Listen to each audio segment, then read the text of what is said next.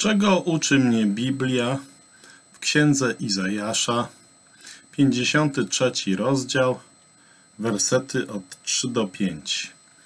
Wzgardzony był i opuszczony przez ludzi, mąż boleści doświadczony w cierpieniu jak ten, przed którym zakrywa się twarz, wzgardzony tak, że nie zważaliśmy na niego, lecz on nasze choroby nosił, nasze cierpienia wziął na siebie, zraniony jest za występki nasze, starty za winy nasze, ukarany został dla naszego zbawienia, a jego ranami jesteśmy uleczeni. Księga Izajasza, 53 rozdział, wersety 3 do 5. Pewien człowiek opowiada, że 27 stycznia 1945 roku obóz koncentracyjny w Auschwitz został uwolniony przez armię sowiecką. Każdego roku wyłaniają się na światło dzienne nadzwyczajne świadectwa ze strasznej przeszłości. W 2020 roku został wydany zbiór notatek, opisów Zalmana Gradowskiego, jedyny w swoim rodzaju dokument pisany w ciągłym zagrożeniu życia, pośrodku trwającego wyniszczenia narodu żydowskiego i nie tylko w Auschwitz.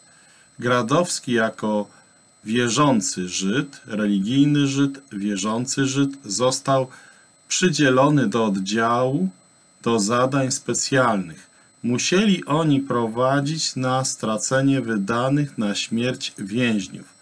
Należał do tej grupy przez 22 miesiące, aż do dnia swojej własnej śmierci 7 października 1944 roku. Jako przywódca powstania w krematorium drugim został jeszcze tego samego dnia w cudzysłowie zlikwidowany przez żołnierzy SS. Napisał Opowiadam minimum z tego, co przeżywam, aby dać jakieś wyobrażenie tego niepojętego okrucieństwa. Życzę sobie, aby było to ostrzeżeniem dla nas i dla kolejnych pokoleń, nauką bez tuszowania i zmuszeniem do wspominania Holokaustu w czynie i słowie.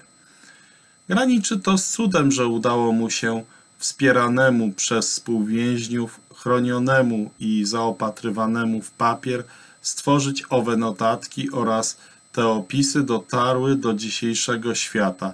Jego pamiętnik był ukryty w butelce i zakopany na terenie obozu Auschwitz. Został on znaleziony i przetłumaczony z języka jidysz na niemiecki. Pamiętniki mają w sobie coś wyjątkowego wiarygodnego, bo są napisane w rzeczywistości, której ten człowiek żył. Niektóre są dla pożytku społecznego, inne bardziej osobiste. Mają na celu przypominać, odświeżać, napominać. I dwa przykłady tego, jak to się dzieje. Po pierwsze, czytając o dzienniku, o dzienniku Gradowskiego od razu przypomniałem sobie pamiętnik mojego ojca, mówi ten człowiek, który to nam opowiada, który napisał, przebywając w niewoli rosyjskiej 1945-1948. Zrobił to pismem stenograficznym. Pamiętnik został czytelnie przepisany i dla mnie osobiście ma dużą wartość, gdyż byłem przywiązany do mojego ojca. Przez trzy lata, prawie każdego dnia.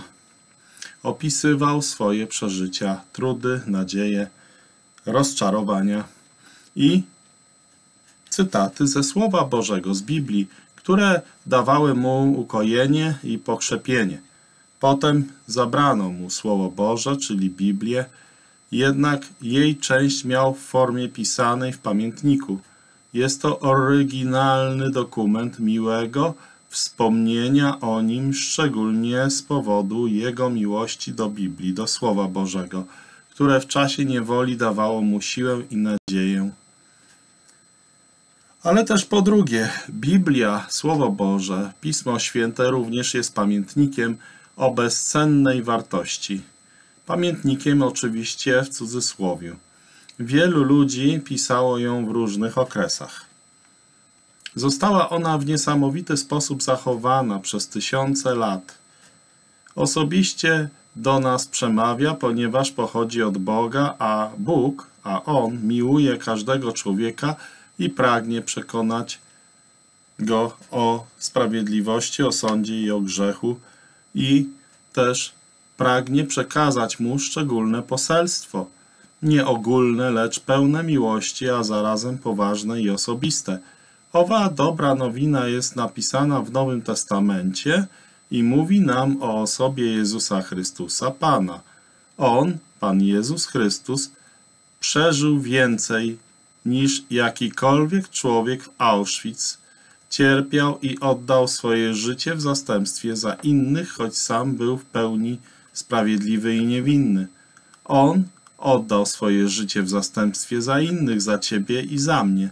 Cud Bożej łaski. Przyjmij łaskę Bożą i uwierz w Pana Jezusa Chrystusa, a będziesz zbawiony.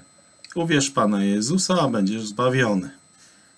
Izajasza 53 od 3 do 5 zgardzony był i opuszczony przez ludzi mąż boleści doświadczony w cierpieniu jak ten, przed którym zakrywa się twarz zgardzony tak, że nie zważaliśmy na niego. Lecz on nasze choroby nosił, nasze cierpienia wziął na siebie. Zraniony jest za występki nasze, starty za winy nasze, ukarany został dla naszego zbawienia, a jego ranami jesteśmy uleczeni. Izajasza 53 od 3 do 5